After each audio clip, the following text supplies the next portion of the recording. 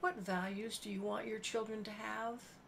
They will base their belief system on yours, choosing to adopt, modify, or reject what you believe in.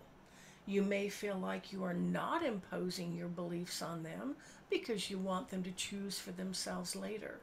However, everything you say or do communicates your values to them, and they are paying attention.